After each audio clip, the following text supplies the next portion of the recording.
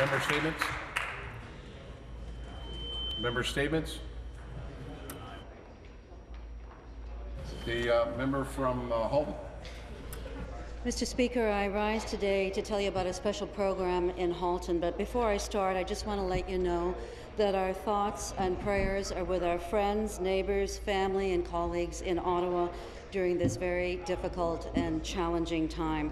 Um, this is a time for all of us to come together, and we have in this House, and I want to uh, once again emphasize that our thoughts are with uh, our, our colleagues and friends in Ottawa.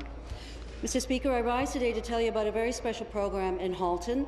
For 10 years, a small team of volunteers have been gathering once a week in schools, gyms, churches, and halls in my riding and surrounding areas to pack boxes. Now, these aren't ordinary boxes. These are containers chock full of the freshest vegetables Halton has to offer. It's all part of a terrific initiative called the Halton Fresh Food Box Program. I recently dropped into a 10-year anniversary celebration for this great program. For a decade, this wonderful initiative has been providing need needy Halton families with tasty, delectable, locally grown, fresh veggies. The idea is to get young families and those in need of assistance, like seniors, newcomers, and the less fortunate, access to the best produce grown in our backyards.